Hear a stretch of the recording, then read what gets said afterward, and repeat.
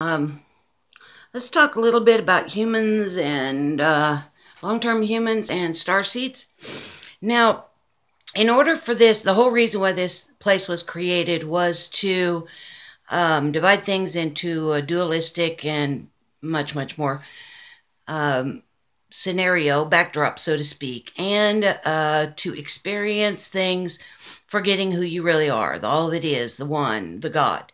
So for that, you had to have amnesia. That has taken a long time to get that done.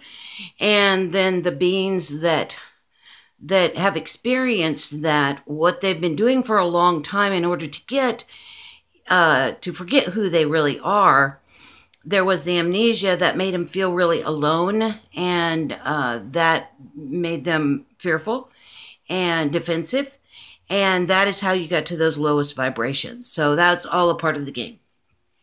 So for a, a being to go from that existence back to unity consciousness, then what they've got to do is they've got to remember that they're all that they that uh, they are part of the one, and they do that with non-judgment and coming out of fear and being happier and happier uh, as they head back towards unity consciousness. So basically, what they're going from is they're going from being alone to, or believing they are alone, back to remembering they're a part of the one, the all that is. A star seed that is here uh, comes, and we are we come from most most um, creations, most games, or we don't we don't have amnesia. We know exactly who we are. Uh, we know exactly what we're doing. We know exactly what everybody else is doing. Most of them are like that. So um, we don't have any problem with thinking unity consciousness and being one with all. Uh, star seeds have a lot more trouble uh, thinking individually. We want to do it for the good of the whole. But star seeds that have come here to help Gaia, they are in the vibration of of the human experience. So they are trajectorially on a creative path that is, is independent on their way to unity consciousness. Okay? So, whereas a human's path to get from here to 5D and beyond is to remember that they are one with all that is, that we are all one, a starseed's path is to accept the fact that for a while they're creating on their own to get to the fifth dimension where they are back to unity consciousness and do it together. You see?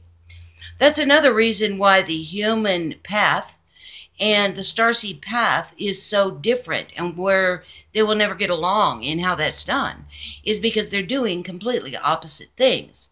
A human is remembering again that they are one, and a star seed is having to create on their own to get back to the one. Those are two diabolically different paths. Aside from the fact, of course, that we are all of our paths are very, very unique unto themselves, but still, that general outlook, that big picture, so to, so to speak, of one path and the other path so you want to encourage, or I want to encourage a human to remember that that person next to them is them.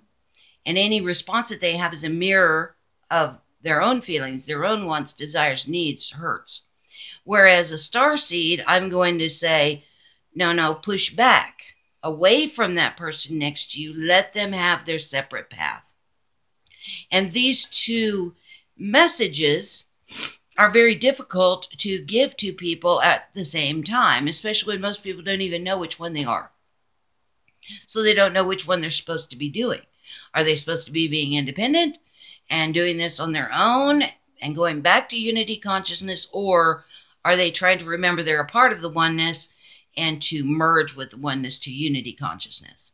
But these are both very, very different. Um, they're very different from where they're going even though they're both ending up at the same place because of their starting point. Their starting points are completely different. So the way that they're going to get to the same place will be very different.